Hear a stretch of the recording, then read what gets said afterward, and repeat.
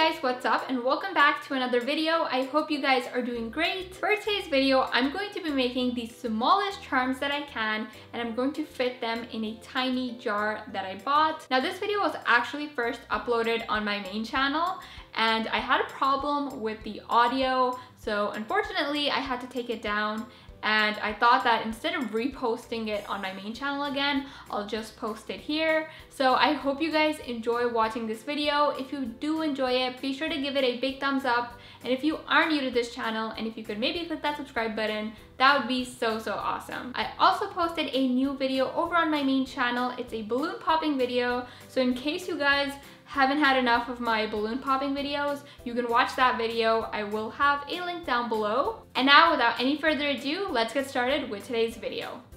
The first charm that I'm going to make is a teeny tiny watermelon.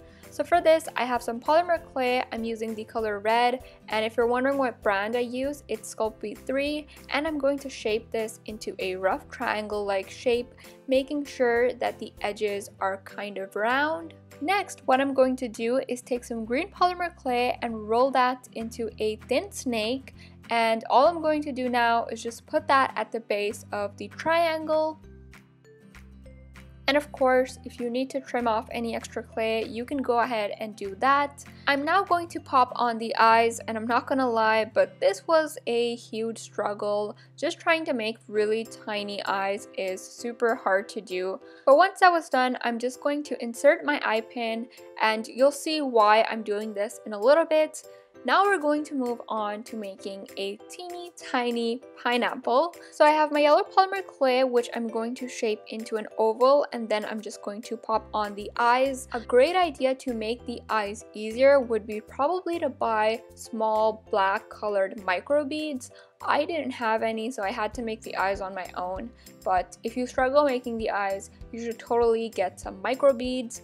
Then I'm going to add in some green polymer clay at the top and insert my eye pin. Once I have the eye pin inside, I'm going to kind of shape the green clay into leaves. This isn't really perfect because it is so small, but I feel like it kind of gives it more detail. Now we can move on to making our third charm, which is a teeny tiny orange. So I have this orange ball of clay and I'm going to give it a lot of texture using a needle tool. You can also use a toothpick to do this.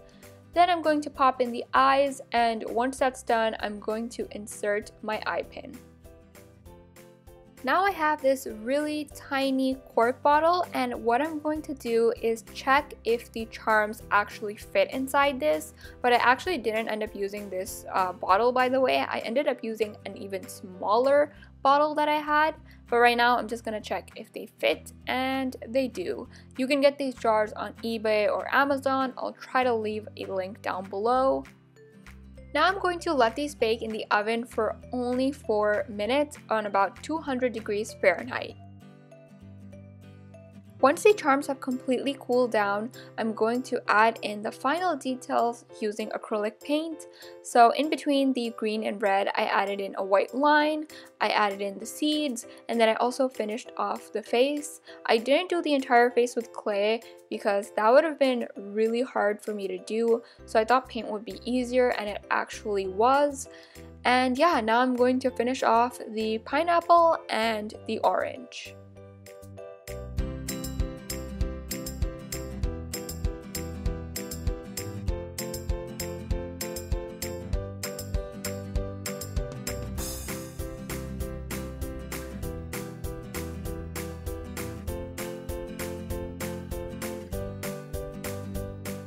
So now that I have all three of the charms done, I'm going to carefully remove the charm from the eye pin.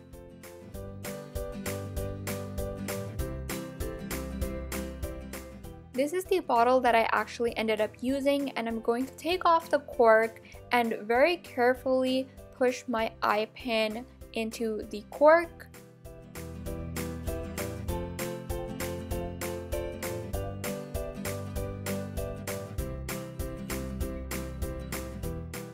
Then I'm going to cut my eye pin according to the size of my bottle and I'm going to put some E6000 glue and glue the charm in place.